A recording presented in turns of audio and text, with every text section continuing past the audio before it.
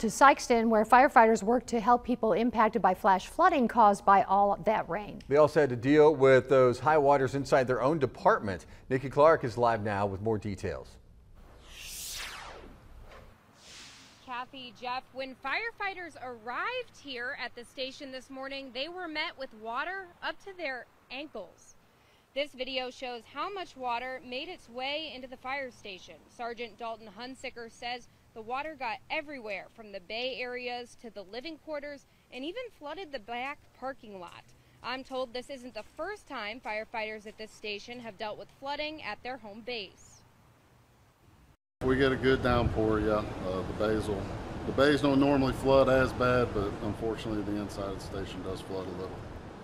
Um, so it took a lot of squeezing and a lot of air from the fans to get everything dried out for us today. Sergeant Hunsicker says the water didn't damage any of their equipment. It's just a bit of an inconvenience. The fire station is actually in the process of getting replaced. They're hoping it will be finished by the end of the year. In Sikeston, Nikki Clark, Heartland News.